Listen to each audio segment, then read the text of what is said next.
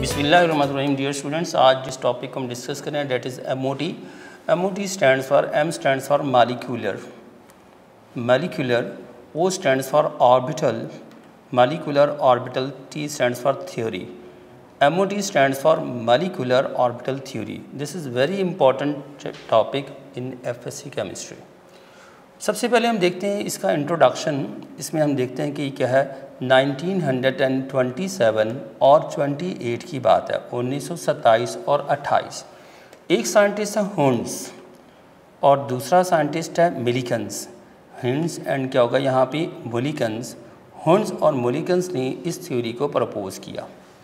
अब ये जो थ्योरी है, ये किन चीज़ों को एक्सप्लेन करती है? दैट इज़ वेरी इंपॉर्टेंट ये जो थ्योरी है एम थ्री एक्सप्लेन करती है फॉर्मेशन ऑफ़ कोवलेंट बॉन्ड कि कोवलेंट बॉन्ड कैसे बनेगा। फॉर्मेशन ऑफ़ कोवलेंट बॉन्ड को ये थ्योरी एक्सप्लेन करती है। नेक्स्ट ये थ्योरी एक्सप्लेन करती है energy changes during the bond formation energy changes during the bond formation bond formation के दौरान जो एनर्जी चेंजेस होती हैं, ये थ्योरी इनको एक्सप्लेन करती है। नेक्स्ट ये थ्योरी बॉन्ड ऑर्डर को क्या करती है? एक्सप्लेन करती है। नेक्स्ट ये थ्योरी मैग्नेटिक कैरेक्टर को क्या करती है? एक्सप्लेन करती है। मैग्नेटिक कैरेक्टर और आल्सो ये theory non existence of molecule को एक्सप्लेन करती है। ये theory non existence of molecule ये थ्योरी पेपर वर्क पे ही बता देती है कि ये मालिक्यूल एग्जिस्ट करेगा या नहीं एग्जिस्ट करेगा। तो अपनी इम्पोर्टेंस के लिहाज से ये बहुत ही एडवांस्ड और मतलब इफ़ेक्टिव थ्योरी है। अब हम इसके पास्टुलेट्स की जिस बात करते हैं। स्टूडेंट यहाँ पे सपोज़ करते हैं कि ये न्यूक्लियस है और न्यूक्लियस ये न्यूक्लियस और इसके अगर यहाँ पे इलेक्ट्रॉन क्लाउड अगर यहाँ पे एक न्यूक्लियस के अंडर हो, हम इसको कहते हैं अटोमिक ऑर्बिटल अगर electron cloud if electron cloud is under the influence of one nucleus, then it is known as atomic orbital. अगर स्टूडेंट अगर electron cloud is under the influence of more than one nuclei हो, अगर वो एक से ज़्यादा nuclei के under हो इलेक्ट्रॉन क्लाउड एक से ज़्यादा न्यूक्लियाई के अंडर हो तो देन हम उसको कहते हैं मालिक्यूलर ऑर्बिटल्स तो वो क्या होगा? मालिकुलर ऑर्बिटल उसको हम कहते हैं, वो क्या है? मालिकुलर क्या है? ऑर्बिटल है। अटोमिक ऑर्बिटल की मिक्सिंग से अटोमिक ऑर्बिटल के कॉम्बिनेशन से ही बनते हैं, क्या होगा यहाँ पे?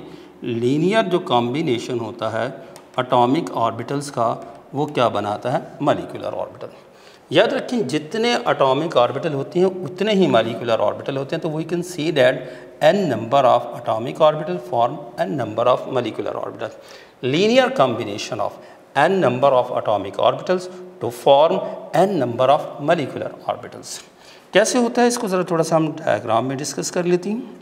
सपोज़ करते हैं कि यहाँ हमारे पास ये क्या है एस है, और यहाँ पर भी क्या है एस है। हाइड्रोजन का है, ये भी हाइड्रोजन वन एस ये भी हाइड्रोजन हो तो ये क्या होगा? वन एस ये आपस में जब कंबाइन होती हैं ओवरलैप करते हैं तो यहाँ पे दिस वन तो यहाँ पे दो किस्म के चांस हो सकते हैं। अब यहाँ पे ये जो ओवरलैपिंग है, अगर तो ये एक दूसरे के इफ़ेक्ट को बढ़ा भी सकती है और कैंसिल भी कर सकती है। अगर ये एक दूसरे को इफ़ेक्ट को बढ़ा दे, इसे कहते हैं कंस्ट्रक्टिव ओवरलैप इसे मैं क्या कहता हूँ? कंस्ट्रक्टिव ओवरलैपिंग कहेंगे। अगर ये एक दूसरे के इफ़ेक्ट को क्या कर दे? कैंसिल कर दे। तो then it is known as destructive overlap overlapping constructive भी हो सकती है और डिस्ट्रक्टिव भी हो सकती है। अगर कंस्ट्रक्टिव हो तो ओवरऑल इलेक्ट्रॉन डेंसिटी ज़्यादा हो जाएगी अराउंड दी बाउंड एक्सिस अगर डिस्ट्रक्टिव हो तो यहाँ पे ओवरऑल इलेक्ट्रॉन डेंसिटी जो है वो क्या हो जाएगी? कम हो जाएगी। स्टूडेंट वो जो कंस्ट्रक्टिव ओवरलैप से ऑर्बिटल बनता है, इसे कहते हैं बॉन्डिंग मालिकुलर ऑर्बिटल इनको हम कहते हैं बॉन्डिंग मालिकुलर ऑर्बिटल्स कहते हैं। और जो डिस्ट्रक्टिव ओवरलैप से बनेगा, उसको हम कहते हैं anti bonding molecular orbitals anti bonding ये क्या होगा यहाँ पे? मालिकुलर ऑर्बिटल इसको हम एंटी बॉन्डिंग मालिकुलर ऑर्बिटल्स कहते हैं। अब हम इसको डिस्कस करेंगे what are anti bonding molecular orbitals anti bonding molecular orbitals कौन से होते हैं? ये वो मालिकुलर ऑर्बिटल्स होंगे। हैवन हायर एनर्जी इनकी एनर्जी पेरेंट एटॉमिक ऑर्बिटल से ज़्यादा होती है। यहाँ पे हैविंग जिनकी क्या होगा? हायर एनर्जी इनकी एनर्जी क्या होगी? हायर होती है। Higher than parent atomic orbitals अपने पेरेंट एटॉमिक ऑर्बिटल से जिसकी एनर्जी ज़्यादा हो, वो एंटी बॉन्डिंग मालिकुलर ऑर्बिटल है। इन दिस केस अगर इसमें इलेक्ट्रॉन डेंसिटी को फाइव ए से लिखूँ, इसको फाइव बी से लिखूँ in this case they cancel the effect of each other इसमें जो इलेक्ट्रॉन डेंसिटी होगी मलिकुलर ऑर्बिटल की, वो यहाँ पे एक दूसरे को ये क्या सब्ट्रैक्ट कर देता है। इस सिचुएशन में इलेक्ट्रॉन डेंसिटी डिक्रीज़ हो जाती है। इलेक्ट्रॉन डेंसिटी वो क्या होगी? यहाँ पे डिक्रीज़ हो जाएगी। इसको हम सिग्मा वन एस से लिखते हैं तो इसको हम क्या लिखते हैं? सिग्मा स्टार वन एस से लिखते हैं। दे आर डिनोटेड एज इनको हम सिग्मा स्टार वन एस से लिखेंगे और पाई स्टार वन एस से डिनोट करते हैं। तो what are anti bonding molecular orbital the molecular orbitals having higher energy than its parent atomic orbital is known as anti bonding molecular orbital in this case the two atomic orbital subtract each other in this case electron density decreases around the bond axis and they are denoted by the sigma star one S and pi star one S bonding molecular orbitals क्या होते हैं? जिनकी energy parent atomic orbital से लो होती है, उनको हम कहते हैं bonding molecular orbital molecular orbital having lower energy जिनकी एनर्जी लो होगी देन पेरेंट अटोमिक ऑर्बिटल अपनी पेरेंट अटोमिक ऑर्बिटल से जिनकी एनर्जी लो होती है, उसको हम क्या कहते हैं? बॉन्डिंग मॉलिकुलर ऑर्बिटल इस केस में दोनों, यहाँ पे क्या होगा? इलेक्ट्रॉन डेंसिटी आपस में एडअप हो जाएगी।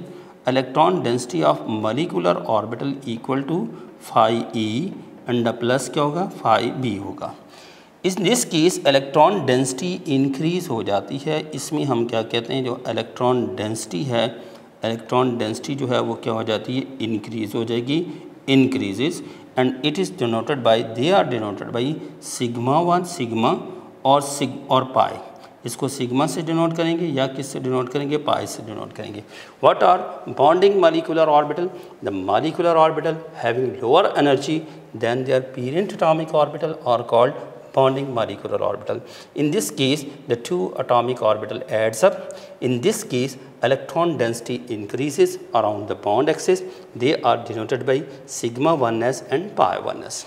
अब अगली बात है कि जो जो मलिकुलर ऑर्बिटल्स हैं इसमें फिलिंग ऑफ़ इलेक्ट्रॉन कैसे करते हैं फिलिंग ऑफ़ इलेक्ट्रॉन्स के वही रूल्स हैं जो वेलेंस बॉन्ड थ्योरी के हैं filling of electrons is according to electrons की जो फिलिंग है वो किसके मुताबिक होगी according to Aufbau principle Aufbau principle के मुताबिक होगी। ऑफ़ बाओ प्रिंसिपल नेक्स्ट दूसरा रूल्स होता है उसमें Pauli's exclusion principle Pauli's exclusion principle के मुताबिक होगी। पॉलिस एक्सक्लूजन प्रिंसिपल और थर्ड रूल होता है Hund's rule the filling of electron is according to Aufbau principle Pauli's exclusion principle and Hund's rule और उसके बाद हुंड रूल के मुताबिक होगी।